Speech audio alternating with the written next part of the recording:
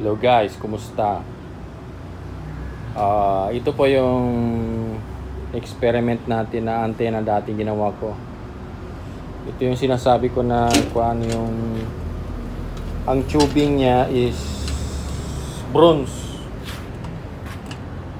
Bronze. Pure bronze po yan siya. Red bronze. So, bronze ang ginamit ko dito sa mga elements niya. Kasama na yung gamma match. Pero ang ginamit ko dito sa gamma match niya is yung ah, nag-experiment ako. Yan, maliit yung ginawa ko na gamma match. Tapos ah, size 8 yung ah, solid copper sa loob. Yan. So, okay rin naman yung tapo niya, guys. So, ngayon, ang gagawin ko naman is mag-experiment ako ng gamma match na ganito. Yan. Ito yung ah, component niya sa loob. Ito yung sa labas. So, babalutan lang natin ito ng insulator para hindi siya mag ah, mag-conduct dito. So kasi dapat hindi yan sila naka-ground eh. Dapat hindi sila connected. So dapat naka-insulate ito. Gamitan natin ng ganito kakapal. I-compare natin sa payat. So experiment lang naman guys. Kasi kung hindi siya magkuha, pangit ang kuha niya dito. Ang gawin natin na gamma match, ito yung tubing.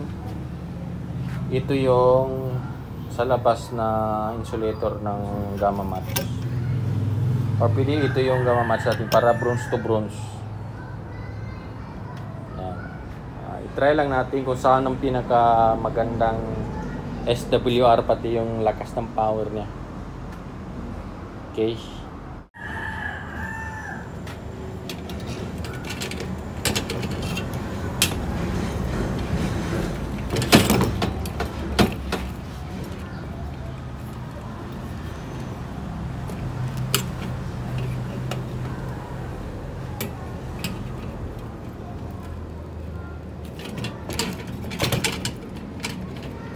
Maluwang na pala to. So, painitin na lang natin ito para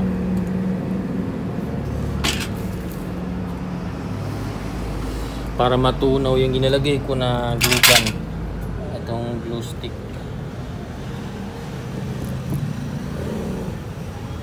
Kailangan painitin ito. Para hilain na lang natin ito.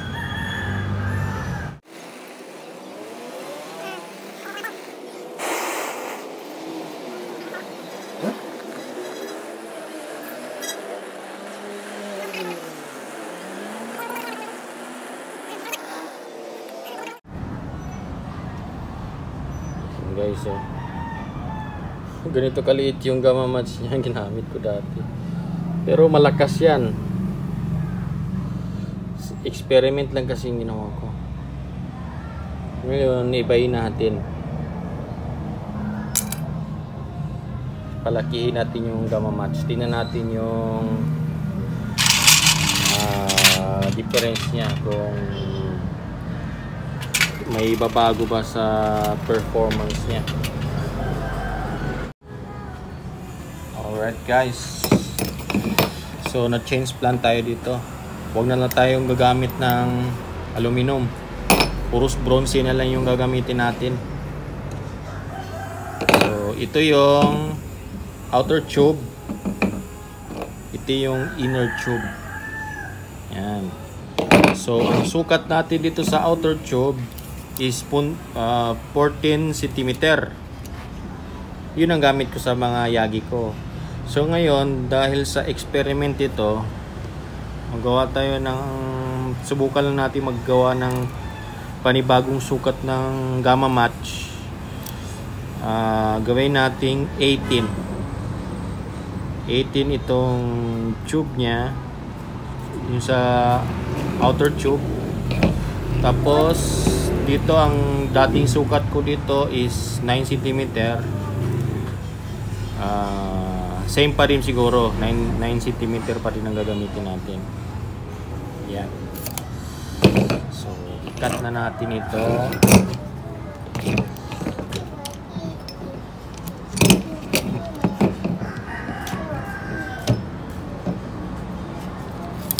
Eighteen centimeter.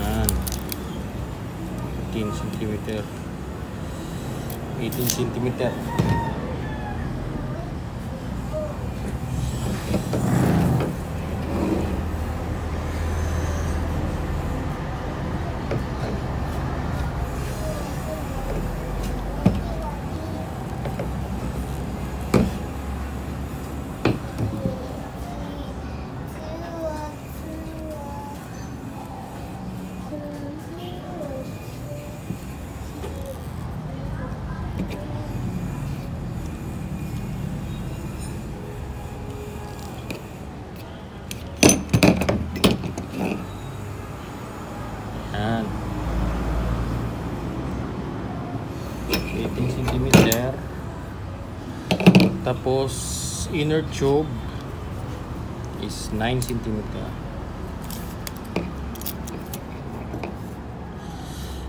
So, 9 centimeter yung dati. Gawin natin 10 centimeter na lang siguro.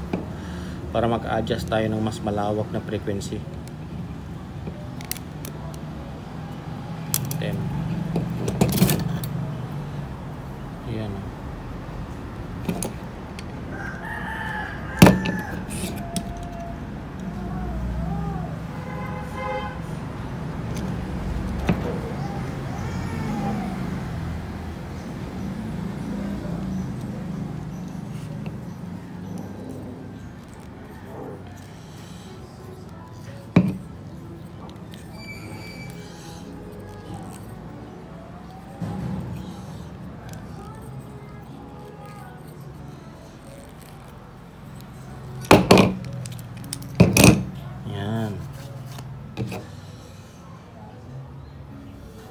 Inner tube. Outer tube.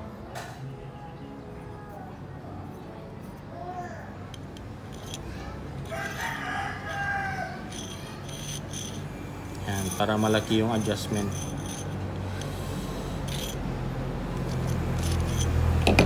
Okay. So, kuha tayo ng mas maliit na bronze. Kiskisan natin. Dahil isusulda natin ito sa loob. Yan, kiskisan kasi para may mga insulator yan na plastic na mga malikuan eh. So, yan.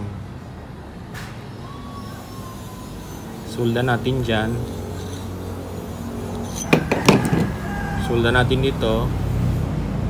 Tapos ito ang isusulda natin doon sa connector. Maliit.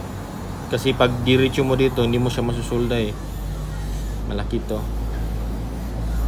Diba kasi yung connection natin doon eh, walang sobra na lampas.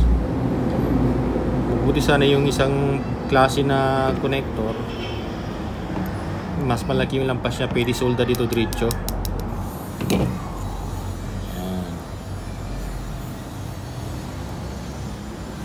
Solda natin guys. contactor.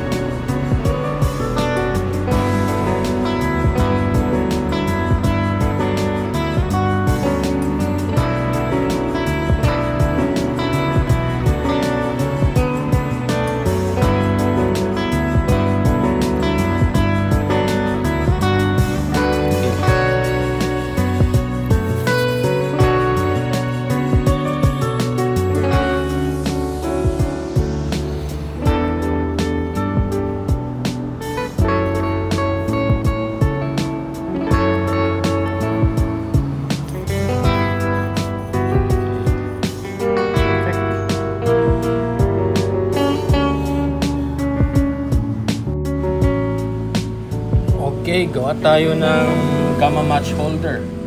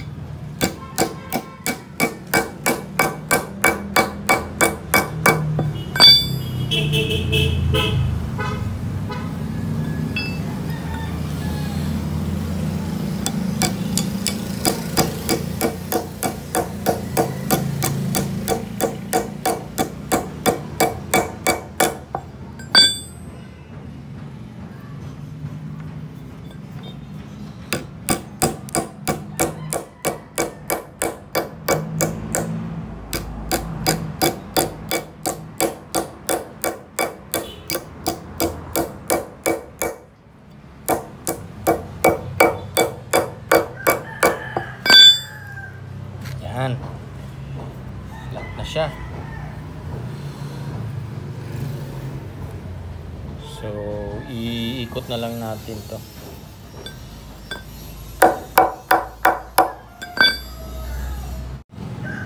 Okay. I-round na natin guys. Hindi ko mag-round ng pinakamadali na paraan.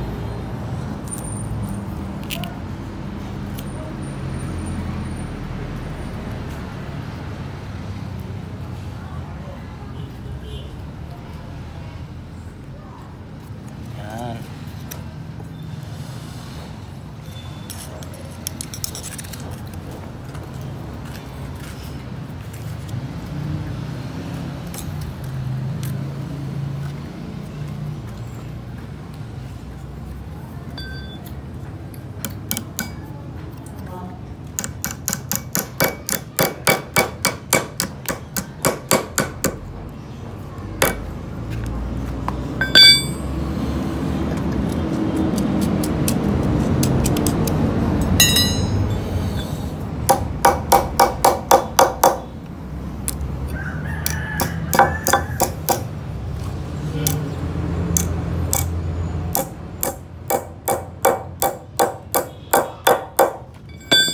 Yan.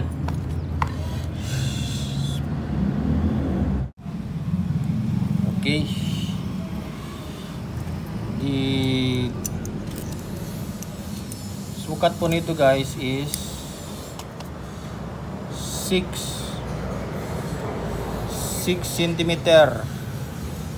center to center yan ang tube. Ang pagitan ng tube to gamma match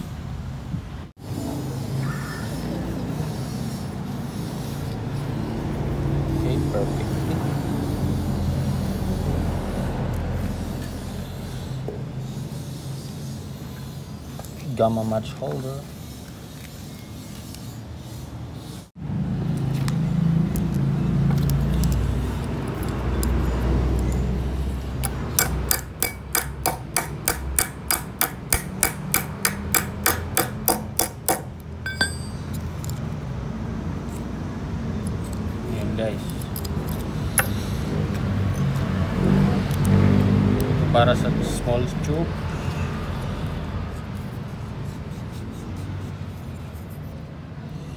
Ito yung nasa ganito na size. Yan. Kasi hindi pantay ito eh. Maliit ito biggest ito. Yan. Lagyan na lang natin ng butasan natin ito para lagyan ng bolts para madaad madali natin ma-adjust adjust okay okay guys.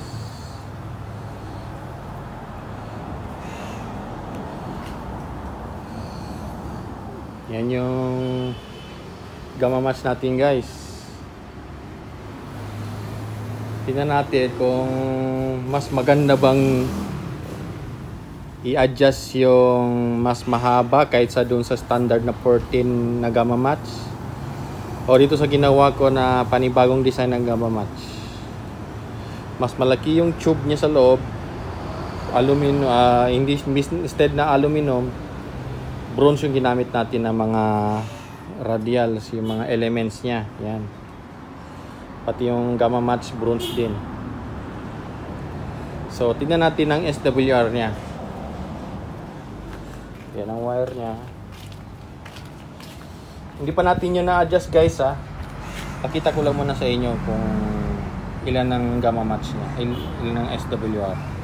So lower, low SWR sa 14 MHz. Pinakamababang frequency. Taas.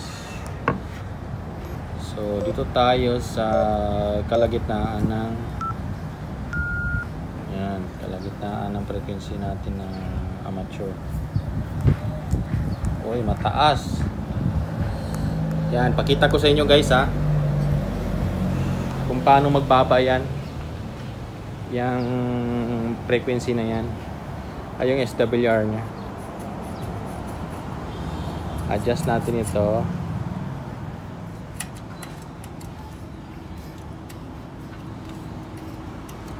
Okay.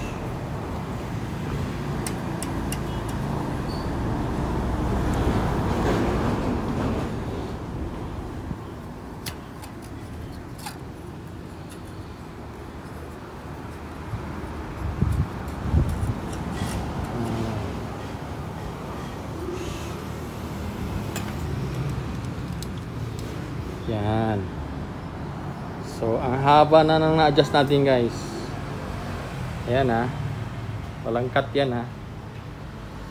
So, ganyan ang itsura ng gamma match niya. Tingnan natin ang SWR niya. Ayan ha. Wala nagbago. Ayan. So, dito muna tayo sa yung gina-raise-raise nila. Dito yun ang mga frequency. Ganyan. Ganyan. Pataas yung frequency nila na ginaga-raise sila. Tingnan natin ang SWR, low power. Yan. Low power, SWR. TTT. Ayun no. 1.1 guys oh. 1.1 ang kuan niya. Uh, dito sa 14 Ayan. 1.2 Tingnan mo ang kaibahan ng gamma match guys. Sa design ko lang yan. Hindi ko sinunod yung theory na libro ha? So pwede pa natin ma-adjust yan. Adjust pa natin ng konti. Taas ng konti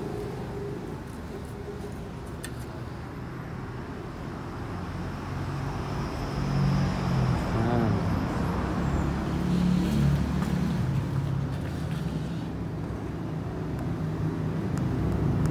tayo sa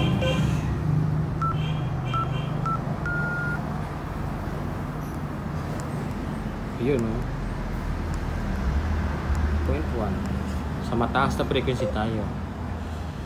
Sa 700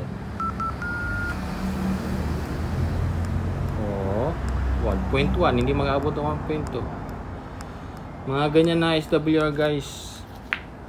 Maganda na yan guys. Maganda na yung tapo ng ganyan na SWR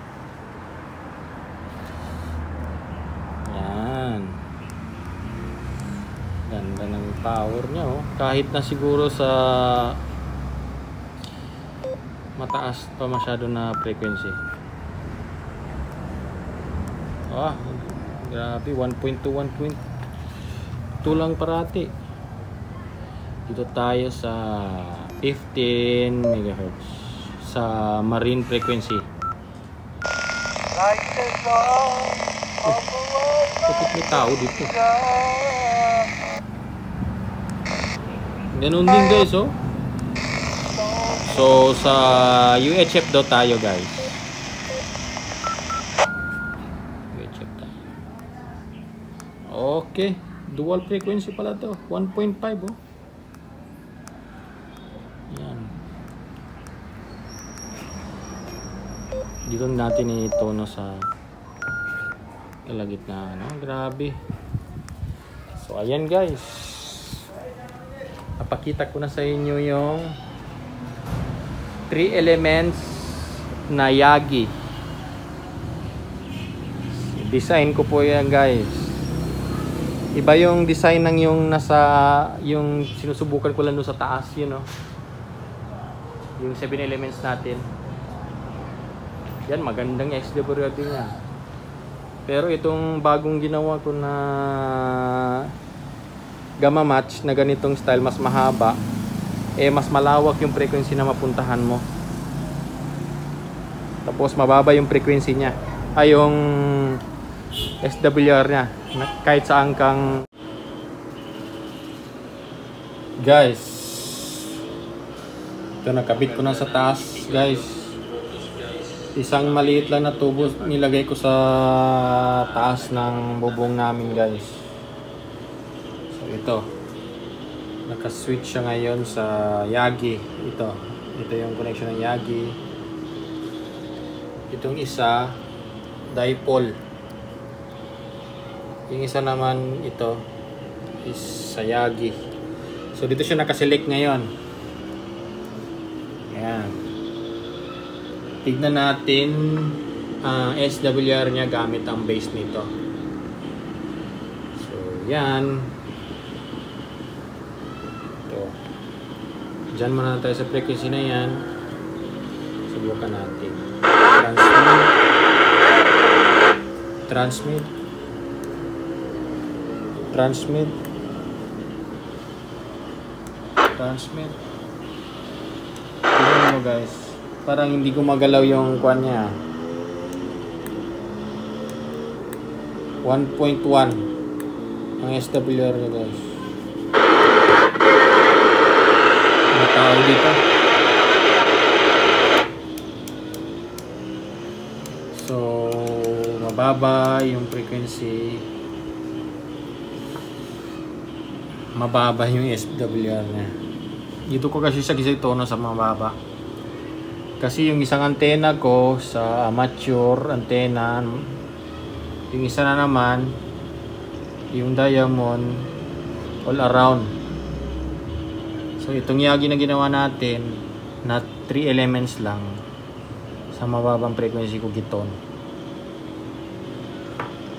So yan. Tingnan natin dito sa plus tayo.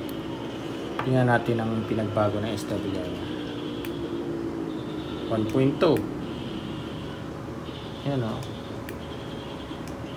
1.2 1.2 1.4 so plus tayo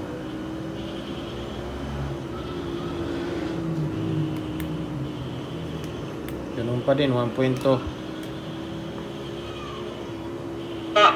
Saga sige lang. Five. Okay. Yan yung mga nag-racing guys oh. Huwag tayo dito ang Ah, plus tayo. Subukan natin transmit. Ah, grabe oh guys oh. 1.2. Ayan Pero, guys, masyadong makulay yung bayan namin. oh. Yan, high power.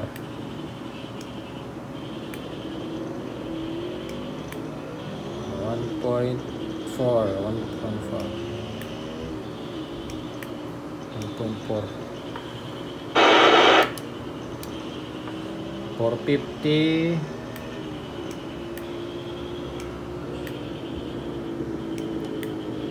Ang 450 guys, tingnan mo guys. Halos dumidikit doon sa kwan eh 1.1 1.0 ito SWR yan guys oh. high power yan ha sobrang baba ng SWR natin power niya tingnan mo ang power. 40 40 45 so plus tayo. 550 power. 45 SWR 1.1 so yan tayo 1.5 1.5 plus naman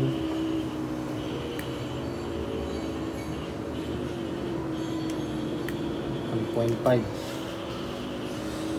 So, tingnan natin kung saan hanggang saan ang frequency niya guys. Pagdating niya sa 850, Huli guys, oh. nagbaba na naman siya ulit. Kasi yung SWR ni kasi guys, pag ganun guys oh, mababa, pataas, mababa, ganun yung wave niya eh. Pag ganun yung wave niya. So, pag naka, yun, yun ang tinutono mo. Dapat mapasakto ka doon sa tono ng amateur frequency. Kaya pagdating niya dito sa pataas na naman, So, nasa taas na frequency na naman siya ngayon. Nagbaba na naman yung SWR natin. Oh, halos di gumagalaw guys, oh. Transmit ha, transmit. Kunti lang yung galaw niya. Ah, power meter. 30. 30 kasi sa mataas na frequency na yan eh. SWR napakababang trip. Yan guys. So, ganun lang ang gawin nyo sa Yagi nyo guys kung magawa kayo ng Yagi. I-experiment nyo lang yung paggawa nyo ng gamma match. Ang importante, yung elements nyo, yung pagitan ng bawat elements, pati yung sukat ng elements, eh nasa tamang sukat kayo. Doon sa gamma match, eh, pwede nyo paglaruan yan kung saan ang frequency na gusto nyo. Pwede nyo sundin yung nasa theory. Pwede nyo sundin na kayo lang mismong gumawa. Kagaya yung sa akin. Yung unang ginawa ko na Yagi, sinunod ko yung theory ng paggawa ng Yagi. Marami kasing theory ang Yagi. So, yung sa akin, yung unang ginawa ko, sinunod ko, okay rin siya. Pero yung gumawa ako ng sarili kong sukat sa eh mas maganda yung labal resulta niya. Ah, kasi ang yagi kasi guys, pwedeng vary loop ang gawin mo. Pwedeng ah dipole lang na T, T dipole. Pwede yung may gamma match. So, yun. I hope na nakatulong sa inyo yung paggawa natin ng Yagi sa mga gumagawa ng antena dyan. Kung may mga idea pa kayo, mag-comment lang kayo guys. Hanggang dito lang muna itong vlogs natin guys. Kita kits sa susunod na vlogs.